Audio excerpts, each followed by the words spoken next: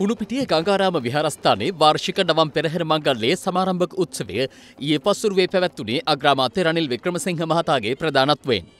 විවිධ දුෂ්චරිත විවිධ අකටයුතු විවිධ දේවල් දැන් තුනී කරනවා. විදේශීය බලවේග වලින් අපේ ගරුත්වය නැති කරනවා. ඒ රටවල තිබුණු අශීලාචාර භාවය අපේ රටවල් වලට බෝ කරනවා.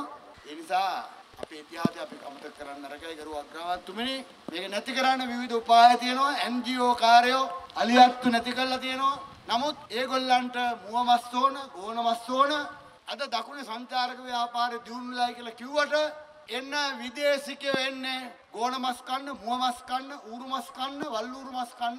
මේක අපි අමතක කරන්න නරකයි. තල් මස්සු බලන්න ගියාට යන්නේ ඩොල්ෆින් මස් ගන්න, බෝට්ටු කාරයෝ, ගන්ධ පෝල, විවිධ මත්ද්‍රව්‍ය වලට විදේශිකයෝ අත්දැහිවිලා ඉන්නවා.